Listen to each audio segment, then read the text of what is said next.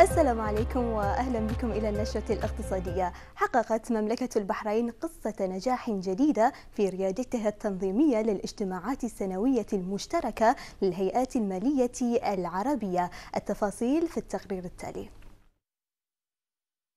توحيد الرؤى والجهود العربية في مجالات الاستثمار والتنمية المستدامة عبر تنويع مصادر الدخل بعيدا عن تداعيات الوقود الأحفوري وتعزيز مرونة أسواق العمل العربية لمواجهة البطالة.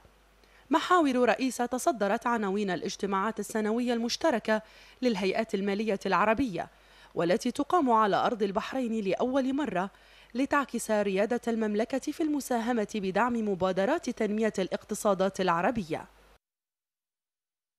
التنظيم خارق العادة حسب ما قاعدين نراوه. السنة الفارطه كان في الكويت السنة هذه في مملكة البحرين. ولهذا نشكر مملكة البحرين على استضافة كل كل البلدان العربية. هو العالم العربي نجم نقولوا منقسم هو تو متأثر آه، سلبيا لبعض البلدان بأسعار النفط اللي هي معناها آه، نزلت كثير في السنة الفارطة.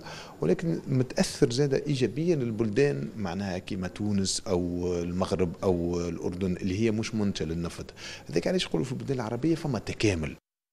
رغم ما اتخذته الدول العربية من خطوات ملموسة في مجال الإصلاح الاقتصادي تبقى الحكومات مطالبة بتبني خطط تكاملية طويلة الأجل تحقق أوضاعا مالية مستدامة وتخلق البيئة المحفزة لنمو وازدهار القطاع الخاص مدعومة بزيادة الإيرادات غير النفطية وضبط نفقات الأجور والرواتب والخروج التدريجي من سياسات دعم الطاقة لتواكب مستجدات التراجع المستمر في أسعار النفط. الدول العربية مش أقل من الاتحاد الأوروبي دول الاتحاد الأوروبي. حتى لو في اختلافات سياسية وده شيء طبيعي أمر وارد. لكن الاقتصاد والتكامل الاقتصادي وكل دولة من الدول العربية لها ميزة نسبية أو أكتر آه، بنحاول نحقق قيم مضافة. ويبقى عندنا سلة غذاء عربي لأن أنا بصفتي وزير الزراعة في جمهورية مصر العربية. إن شاء الله في وفد جاي من مملكة البحرين لجمهورية مصر العربية على نهاية الشهر بالإضافة اللي أنا عرضته من مشاريع خاصة بالمليون ونص فدان مشروع قومي طرحه فخامة الرئيس عبد الفتاح السيسي. باستضافتها لأكثر من 300 شخصية مالية واقتصادية يمثلون الهيئات المالية العربية.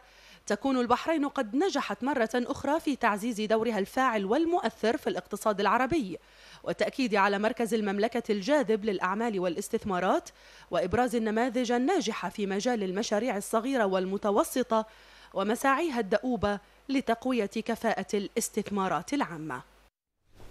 أقفل مؤشر البحرين العام بانخفاض وقدره خمس نقاط فاصلة ثلاثة وخمسون نقطة عن معدل الإقفال السابق وذلك عائد لانخفاض مؤشر قطاع البنوك التجارية. وقد بلغت كمية الأسهم المتداولة 582 سهما بقيمة إجمالية قدرها 100 و2939 دينارا بحرينيا تم تنفيذها من خلال 29 صفقة.